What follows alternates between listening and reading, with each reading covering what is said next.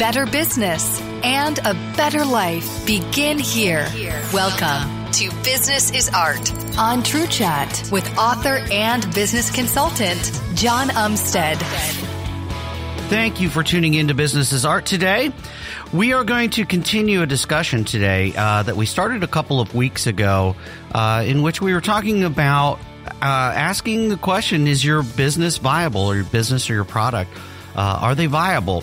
And we began that podcast uh, by asking uh, some a series of questions, but we had three basic categories: questions about you yourself, questions about your market, and questions about your business model. Now, in that particular episode, we only got through the questions about you. So, to recap real quick, those questions are: What type of entrepreneur are you?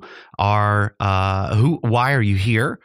Uh, and how determined are you? So with this episode, we're going to bust into some of the additional questions that you could that you should be asking yourself to determine if your uh, business or product is viable. But before we do, I would like to invite you all to connect with me if you would please. Find me on Twitter at Jon Umstead. Uh, go to my website, plancanvas.net. That's where you can find my software, Plan Canvas, or inquire about my consulting services. But I want to start a dialogue with you uh, about this show or about any other needs that you might have outside of the show.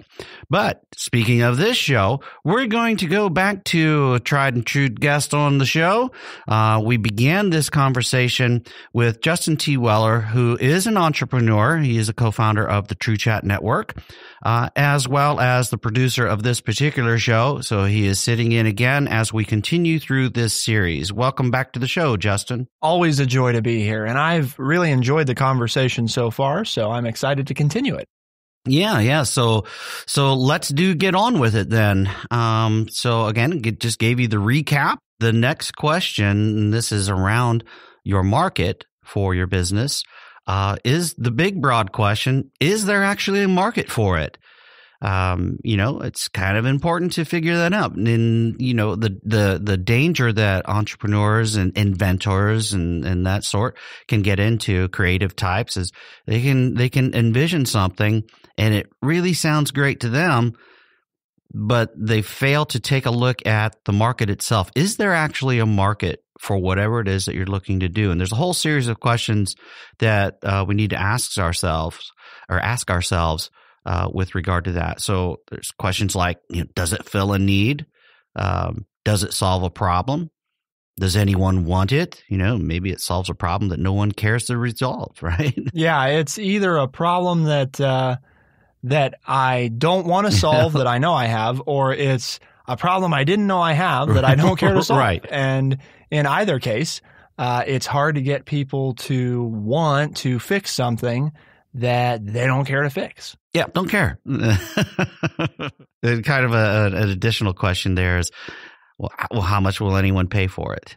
Uh, and that's a big one. That can be a really tough one. So uh, let's come back to that one here in, in a moment, um, because it can be it can be really tough to figure those things out. But some of the things that, as you're answering these questions, you need to look at uh, and consider um, is is like you know is your business or product is it new you know is there anything else out there like it or is it genuinely unique and we all like to think hey what we're doing is unique and there's a difference between uniqueness and differentiators right and i and i i have to believe that most new business ideas or products uh, can have sometimes some pretty big differentiators but there's not a whole lot new out there in the world. I think it's a difference too in like you said the way that we break it down because obviously there's lots of business consultants out there. Mm-hmm.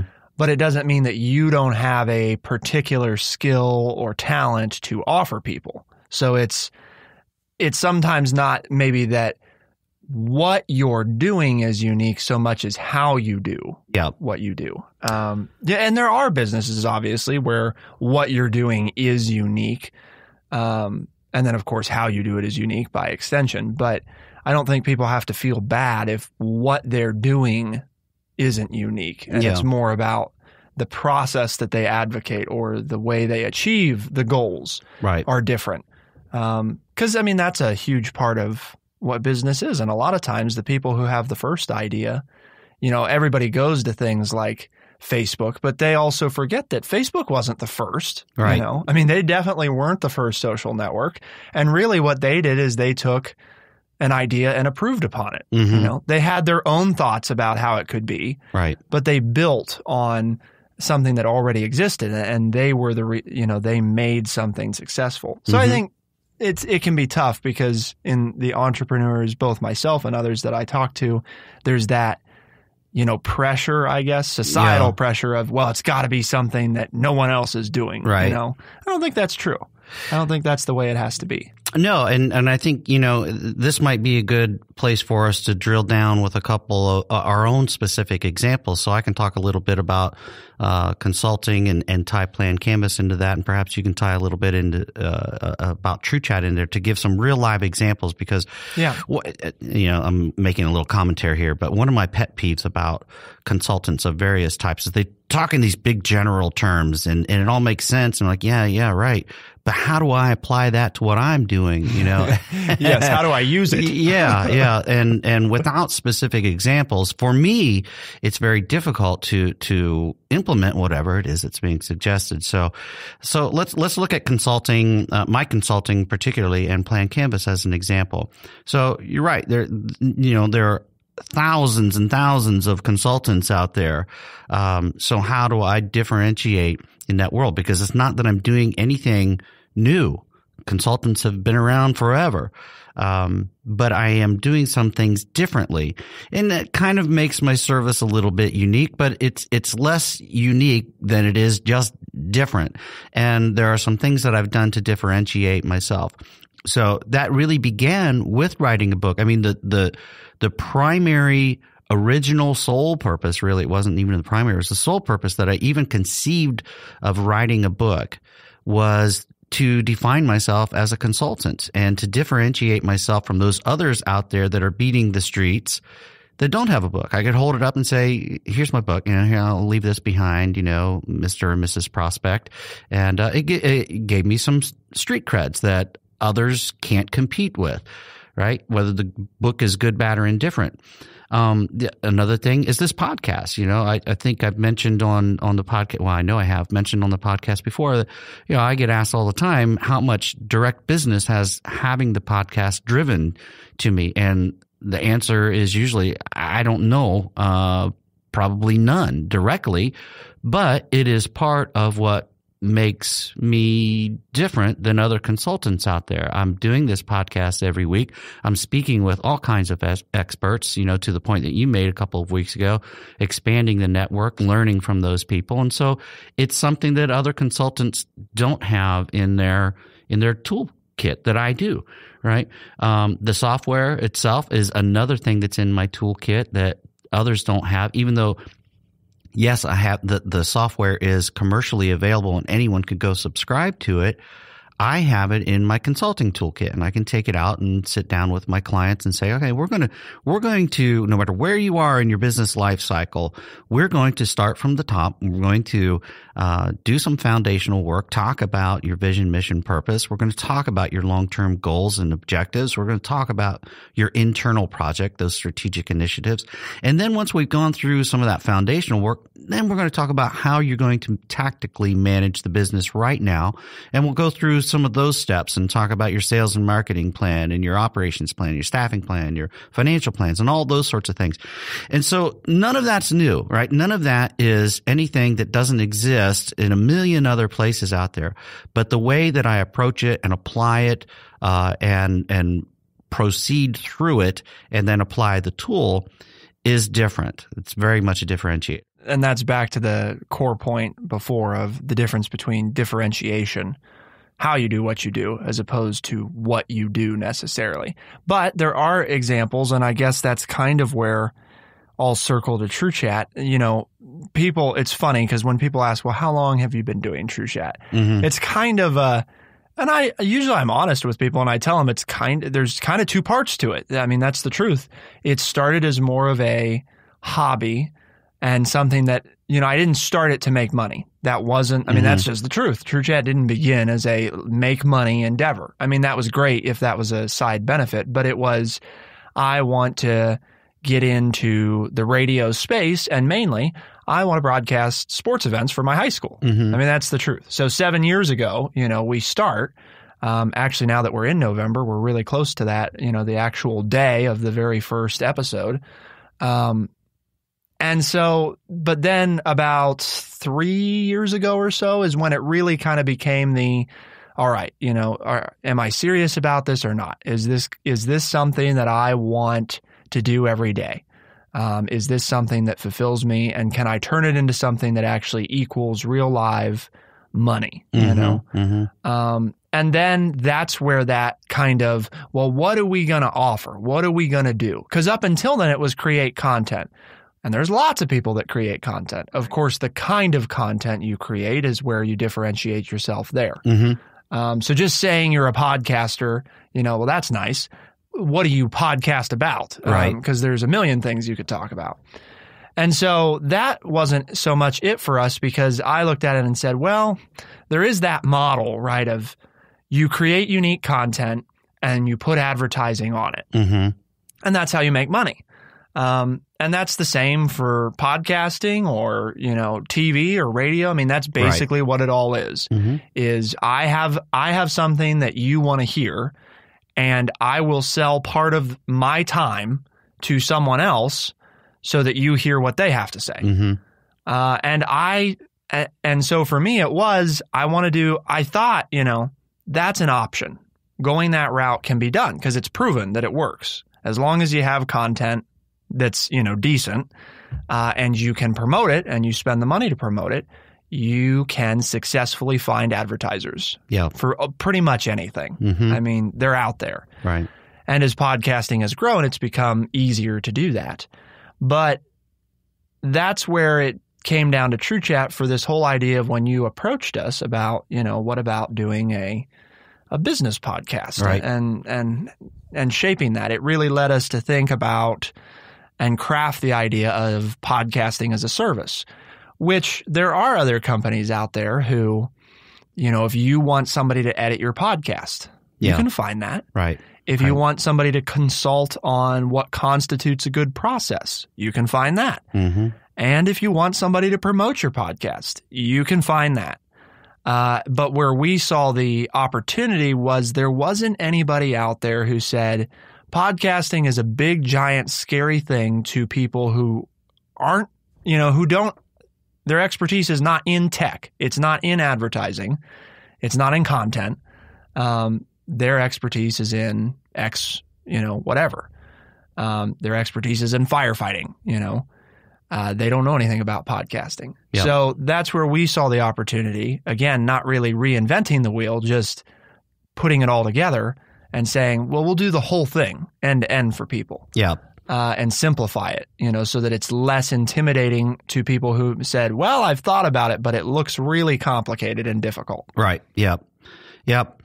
Okay. Well, let's stay on this topic for a little bit. Uh, topic around is there a market? Uh, a couple of questions we want to continue to drill down on, but we before we do, we want to we want we really truly want you, Mister, Mrs., Ms. Uh, listener, to get out there and join our discussion. Find find True Chat on social media. We're at TrueChat.org. Um, reach out to me directly on Twitter. Reach out to Justin on Twitter directly. Find us on LinkedIn. But please uh, join our conversation. Uh, it makes it a whole lot more effective if you do. Um, but let's get back to it here. So again, around is there a market? You know, you mentioned that when you're asked when True Chat started, you kind of see it as uh, two two distinctly different starting points, and that that's a real nice segue into another part of this overall question on is there a market, and that is that one of the things that you need to do is prove out your your market, your business, your product. There are any number of ways to do that. And why that's a perfect segment into this is because I also consider Plan Canvas to be at that sort of second, um, I, I call it launch 2.0, uh, where we are right now. So in terms of proving and testing out the product, you know, we did that. We went through uh, uh, a beta test period of about six months with about three dozen users who really were representative of the, the end user community uh, that uh, that we wanted to attract to Plan Canvas, and um, uh, we ran through you know various test scenarios and and uh, I consulted directly with many of those participants in the in the beta test and we took the outcome from that and took it back to the shop and you know made tweaks and and that sort of thing. And and we kind of got to the first launch. Um, but we fairly quickly entered into really what to me was sort of a second test period and we're really still kind of in it so we've got you know, we went through that beta test and those were all volunteers and they were receiving free consulting services.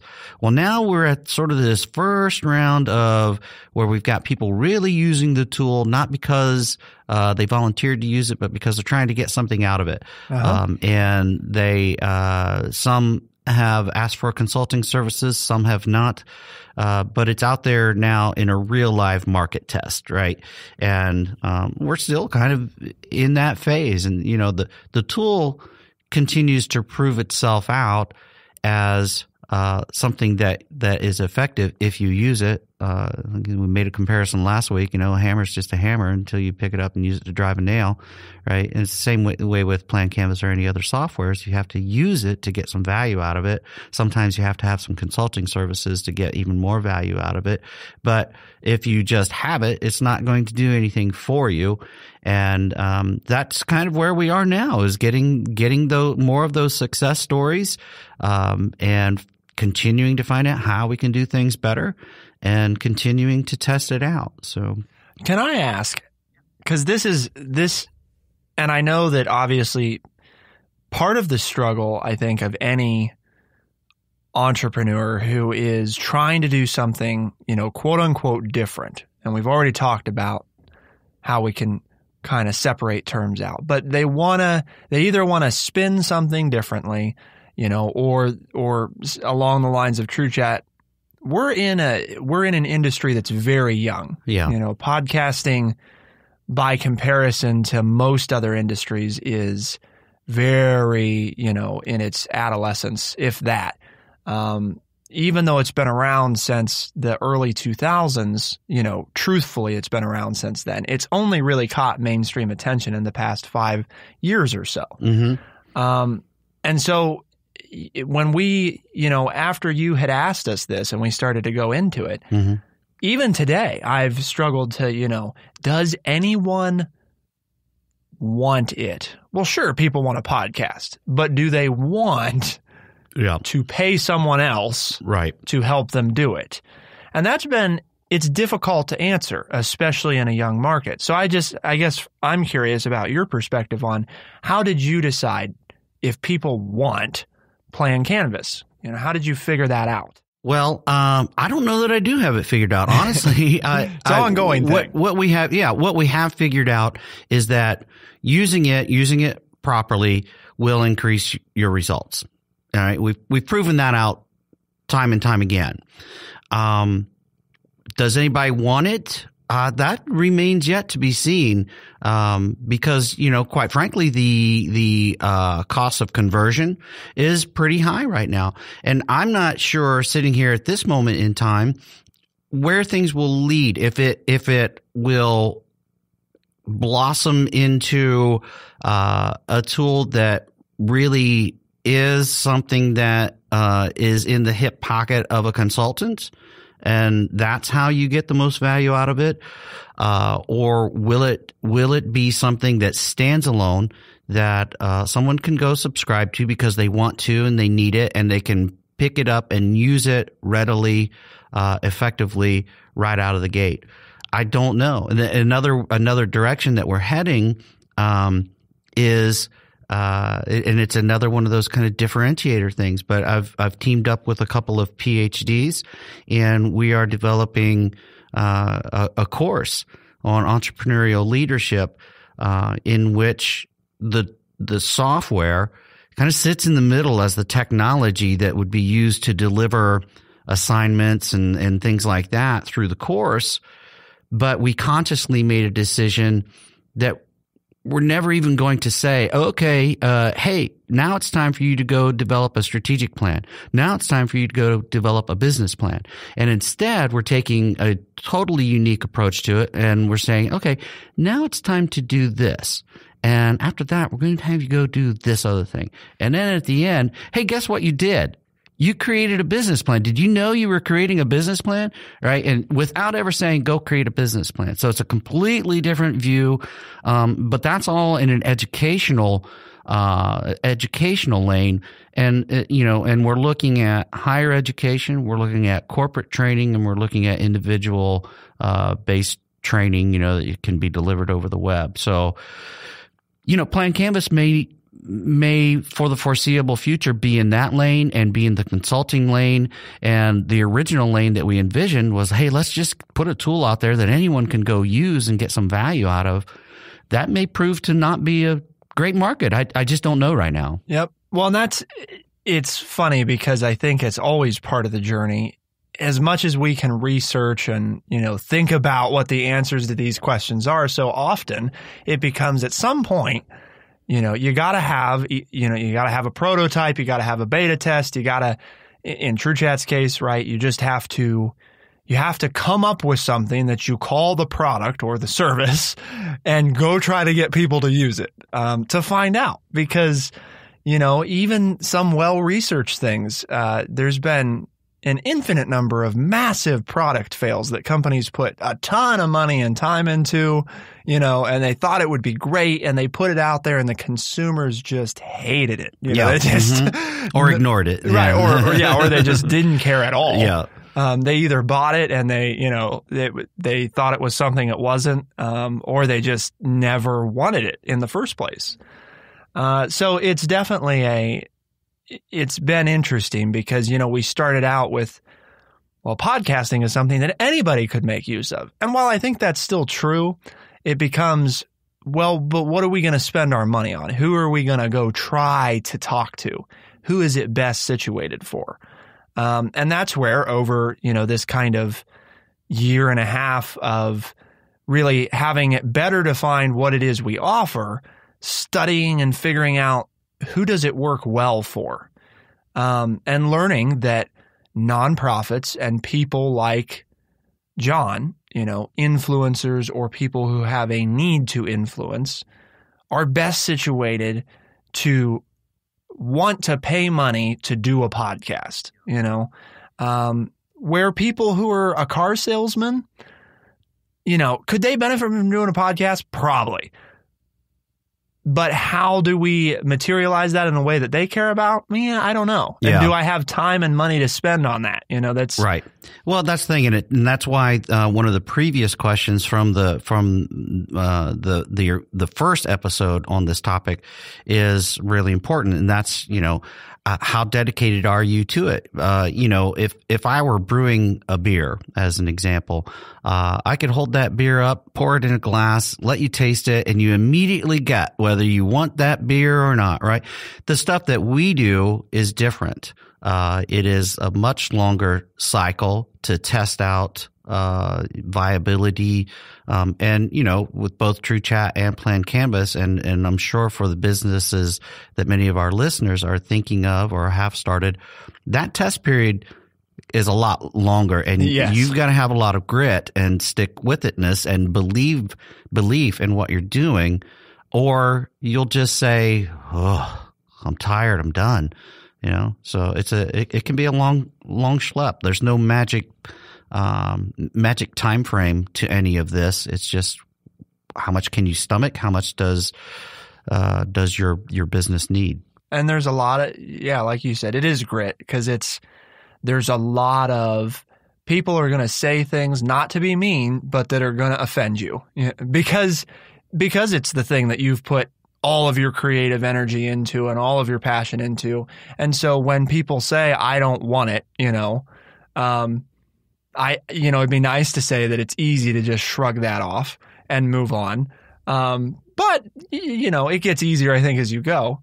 Uh, but it is, you're right. It's longer. You know, you can't, we can't take 50 samples of beer out to people and say, you know, taste this. And if 25 of them say they like it, we know we got something. You know, it's not quite, it's not to say that creating, you know, a craft beer is easy. I mean, I couldn't create a decent craft beer if I wanted to. So, right. Know, but testing it is easy. Right. But testing it's easy. so it's all a matter of, you know, yeah. It's all a matter of where the work comes into play. Yeah. Yeah. Yeah. So, uh, hey, uh, let's uh, again remind listeners that all the podcasts on the True Chat Network pursue a common goal. True Chat's mission is to educate people by providing honest, open, and respectful conversations. If you have any ethical concerns with today's episode, please email ethics at truechat.org. Again, that's ethics at T-R-U-E-C-H-A-T dot org. We're talking about how to determine if your business or product is viable. And we're continuing a conversation from an earlier podcast in which we covered some questions, three major questions that are really specific to you, the individual. Um, and one of those questions is what type of entrepreneur are you, which feeds in directly to this next sub question uh, of the major question that we're talking about right now. Is there a market? And that is how much will anyone pay for your product. And the reason that uh, that question about what type of entrepreneur are you is so important is because it's going to it's going to play a factor. It's going to it's going to be a factor in how you price whatever it is you're you're doing, right? Uh, it, it, could have a tremendous impact. So you got to know what type of entrepreneur entrepreneur you are when you're starting to think about pricing for your for your product or service. But otherwise, uh, around pricing, um, you know, the most common approach, I think, to uh, anyone determining what their pricing ought to be is to do a little market research. You know, get out there, understand your competitors, your peers, uh, what else is happening out in the market, uh, what kind of trends are you seeing, the size of the market, the demand, uh, all of those things play into it. But you've got to get out there and do some homework on your market. Absolutely, uh, and and to the extent that it's available, depending on what you're doing. Um, you know, I think as Jon had highlighted before, some of it is you'll discover uh, where your market is, which lets you do a little bit better research. You know, maybe you think it's X and it's actually Y. Um, and as you start to do it, you kind of begin to realize, well, my market's not what I thought it was. So now I have to again go back. It's that ongoing process. When when Jon has said that you know, a business plan is a living document. Um, it, it, it has to be, or it should be, because, uh, there is that. You got to go back and visit it again and you have to, you have to think about it again. Um, and you have to do the research again because it, things change, um, both with your business and your idea and, um, and also the market itself. You know, what people wanted, uh, when the iPad came out is not what they want today. Um, the iPad sales have been a, a, sore point for Apple for a long time now because it's like, what am I going to do with this? You know, it's it, it not really can it replace my laptop fully, but at the same time, it's nice to have the bigger screen than a phone but is it worth, you know, is it worth the money for me? So it's in that weird area of when it came out, it was new. So it's, mm-hmm. I want it because it's new. Right. Well, that doesn't work anymore. Right. You know, I mean, it does for some, I'm sure, but it doesn't work with the broad market. Right. So it's a, they're having to reassess and think about, well, what are we going to do if this is going to continue to be a product for us? Yeah. And it's the same thing for any organization. Yep, absolutely. And that kind of leads us to another uh, major section or major question uh, within this within this general topic about the market, and that is is the market accessible? So it's great. You've got this product, and and you know it's going to work. You've tested it. You you know what the pricing is. But can you even get to that market? So first, have you defined and quantified it? But second, uh, are there barriers? You know, there might be regulatory barriers out there. Uh, there might be protections. You might have agreements with previous employers or other uh, business owners uh, that preclude you from entering into those markets for certain periods of time. So you've got to be careful about that kind of stuff. Is there a high cost to entering into a particular market? You know, you talk about some of the uh, tech technology oh, yeah. Uh, that you know um, that you were just talking about. You know, there's a high cost to inventing uh, the next smartphone. Uh, and so, can you do that uh, in your garage? Maybe, but uh, it's a question you have to answer. right. Yeah. You got to know. Um, you know, it's great. I've got the plan. I, I know that people want it, but is it realistic for me to get it to people? Mm-hmm. You know, uh, can I? Because if you're thinking about a smartphone, right? Well, maybe I can build it, but if I have to buy each component and I can't get wholesale pricing, and this phone costs four thousand dollars, Right. I, you know, is anybody going to buy it even if they want it? Yeah. Because they can't afford it. So, it, and that it's, I think the good part of this and where we're, you know, leading up to here as we wrap things up is that they all fold into each other. Yeah. They're very important to one another. This whole process is, which is why it all goes under this same heading, uh, because it is a question of not just, you know, do people want it and will they pay for it? Right. uh, but can you do it at a price people will pay for it? Uh, Yep. And and you know what costs are there that you haven't thought of? Right. Um, Yep. We we ran into many of those. You know, Yeah. I was like, well, podcasting it can't cost that much, and then Right. you know, Just sit in front of a mic and record it. Put it up on the internet. Uh, but then we learned that, you know, people who are going to pay what we ask for these services, most of them hmm expect a very professional appearance Yeah. uh, and presentation, you know, and there's costs with that. Right. Um, you, you can't just have, you know, uh, a garage with three mics in it. hmm People probably aren't going to pay the kind of money we're asking Right. um, because they're going to feel like, well, what am I paying for? You know, Yep. seeing is believing kind of thing. And I'm sure you face some of that in consulting with, you know, it costs what? And what are you going to give me for that? You know, Right. because Mhm. if you're selling a car, it's a lot easier to say it's worth 20,000. You know, Yeah. Right. people don't question that as much. Right. But you, you know, you go up to them and say, I cost whatever, you know, Right. $300 an hour. They're going to, well, what justifies that? Right. You know, hmm um, what do I get for that? Yep. Yep. So, uh, accessibility to the market uh, is a big one. Um, let's go one more question in this broad category about your market because it's a good segue into what's going to end up being our next episode in this series, uh, where we start talking about your business model. But we'll wrap up uh, around the subject of your market with this final question, and that is: Do you have a go-to market strategy? So, things that you need to consider uh, are things like do you have influencers? You know do you have people out there that will um, it's basically free advertising right? If you have the right people talking the right way about your product at the right time that's an influencer and it can have a big impact on uh, your go to market strategy. But you also have to think more tactfully right? Like or tactically uh, tactfully tactic tactfully tactically. Uh, where are you going to sell this thing? Who's going to sell it how are you going to collect revenue right? Uh, i mean that's the whole point. You, Yep. know, you need to make some money. So how are you going to actually collect that revenue? And uh, how will you provide support once once people have especially if it's a product? So if they have your product how are you going to provide support for it? So these are just some of the questions that uh, you need to be thinking about uh, when you're putting together your go-to-market strategy, and, and it also includes additional questions like, you know, how are you positioning uh, your product or service? Uh, what is the messaging that goes with it? Uh, uh, you know, how are you going to be um, uh, promoting it? You know, all of those sorts of things go around uh, your go-to-market strategy. But if you don't have a go-to-market strategy, you're you're in deep doo-doo, right? Absolutely. It's, you got to have at least some, you know, semblance of what now? Yeah. you know, I've got it. I know people will pay for it. I know it's great. And now I got to sell it somehow. Yeah. So I got to get it to people. Right. Um, and how is that going to happen? Right.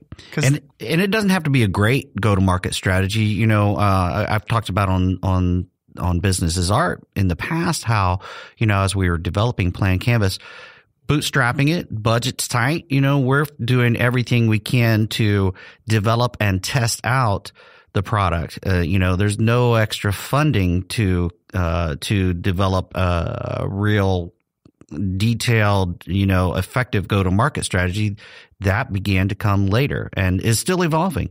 Um, and there's nothing wrong with that. Everyone's situation is different. Just don't go into it with absolutely no idea what you're doing. Most of us are not the Microsofts of the world who, you know, pay a team of a hundred people or more just to do research and development. Right. Most people don't have those kinds of resources. So it's uh, me, myself, and I. You know, Mhm. I am R and D, and I am operations, and I am delivery. So it's Mhm. you know.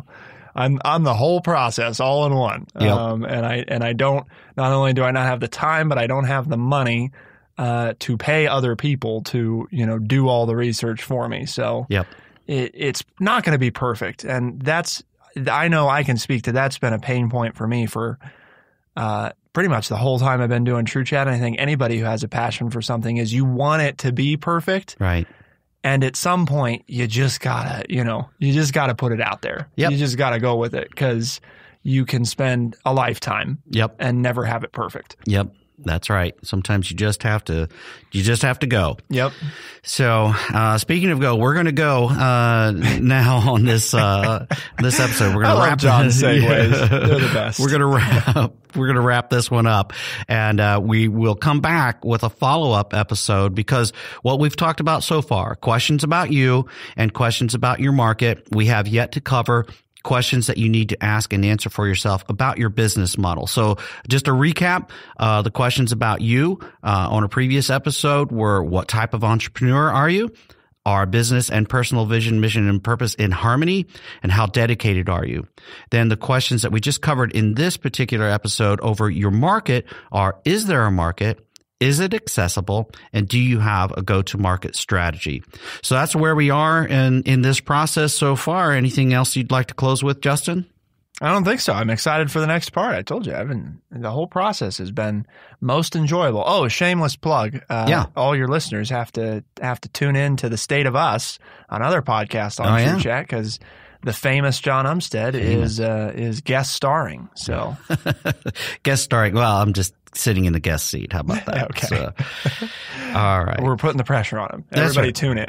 yeah, so looking forward to that, and um, uh, yeah, please tune into to both shows uh, or all of the True Chat shows. By Yeah, the way, So- why not? And you know what? Hey, you can listen to them on Spotify, Apple Podcast, Stitcher, anywhere fine podcasts are found. There's another great segue.